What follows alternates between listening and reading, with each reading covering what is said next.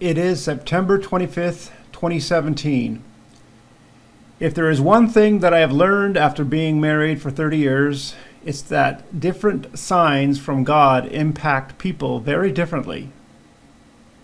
And this sign is about a butterfly.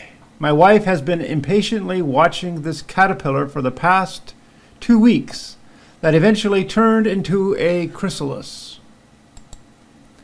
She told me from the start that this lowly caterpillar was going to be a sign of her moving into a deeper walk with God. And so it attached itself to our outside hose. And at the same time as all this, I had just put out this image on my new website about the eagle at 1260d.com and you see it there about the woman riding the eagle as she escapes the water that is being spewed from the serpent's mouth like a hose. It's the scene from Revelation 12.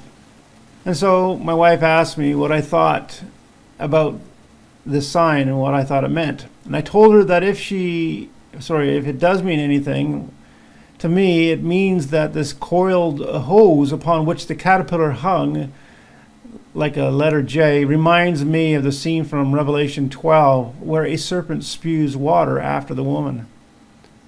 I said that the butterfly is the insect equivalent of the woman riding the eagle in Revelation 12. This is because the lowly caterpillar is transformed into a butterfly, allowing her to now see things from God's elevated vantage point. And this is the same message I have been stressing in my recent articles and videos. Well, it happens that yesterday, as I put out the video about the blood moon eclipses, and in that video I remarked that the day that I published that blood moon video, which was yesterday, happened to be Tishri 4th on the Jewish calendar, which Tishri 4th is the anniversary of when God created the sun, moon, and stars. And so I thought, and I said in the video, that was fitting for this video to be put out about the sun and moon on the same day as God created the sun, moon, and stars. And then, very early this morning, I put out a link on my 1260d.com homepage that directed people to the section in another of my videos to the part about the eagle being compared to a monarch butterfly and so forth. It then goes on to speak about David Wilkerson's prophecy about Donald Trump, but this right now is not about Donald Trump. Anyway, then later today, this lowly caterpillar, the same one there, emerges from its chrysalis finally. We caught it on still images and video, including all the stages from days earlier, because it was so important to my wife. My wife, Kathy, has been anxiously awaiting its arrival like an expectant mother. She even invited others over to watch. Anyways, well, I took note that today is Tishri the 5th. Yesterday was Tishri the 4th, when God created the sun, moon, and stars. Today is Tishri 5th, which is when God created flying creatures to fly through the heavens, as recorded in, in Genesis 1. Well, perfect timing again. And then I also recall the dream that God gave to my daughter Sarah on about August 14th, 2017. She had texted me back then, which was, uh, what, a month ago, and had asked for an interpretation to her dream. And the number 888 was in this dream that she had.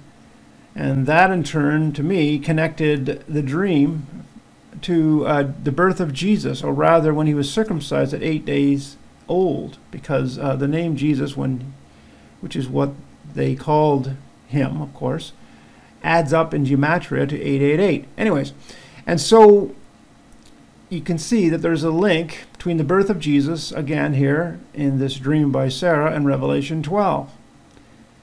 Her, her dream was the following, and with this I close. And while this is certainly a very personal sign, I'm not trying to say this is some, you know, huge event, but like I said, some things speak different ways to different folks and what is important to me may not be important to another, and so forth. Anyways, besides all this, it makes my wife happy that she can see her butterfly on YouTube. Anyways, my daughter's name is Sarah, as I said, Her name means princess in Hebrew. And this is the name or the nickname that we call her. But the name God gives her is Warrior Princess, just like the woman who rides the eagle. And I've been thinking about my daughter as uh, I talk about the Warrior Eagle. And I actually name it on Pinterest as the Warrior Eagle. I put it up, put up the fractal video about the Warrior Eagle there on Pinterest. You might be able to find it. Anyways, of course, this is uh, true of all believers. It's not just about my uh, daughter Sarah. My daughter and I interpreted her dream to be about her being changed into a monarch butterfly because in the dream she mentions the name Vanessa, and that's what Vanessa means in English, butterfly. Anyways, this was my daughter's dream, and with this I close. I'm not going to take the time to interpret it more fully, but it was an interesting dream. Sarah texted me and said, I dreamed I received a check from Vanessa because she had just gotten married. I was a little disappointed that I wasn't invited to the wedding, but I think the gift kind of made up for it. The number 888 was on the gift, and it was worth $28. There were pictures of her in her wedding dress. And uh, that's what she texted me on August 16th. And then she retexted me right away. Yeah, I think, sorry, yeah, I had this dream the other night.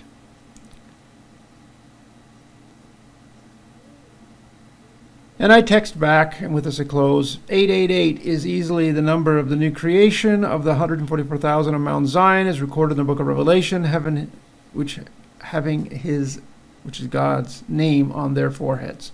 Okay, so with that, I'll leave you to ponder that dream, and uh, I just think it's this God's way of doing a small little sign that this whole message about the eagle, you know, I view life now as like a fractal. I view the Bible like a fractal. I view time like fractal. You know, this is a tiny sign on our tiny level of life.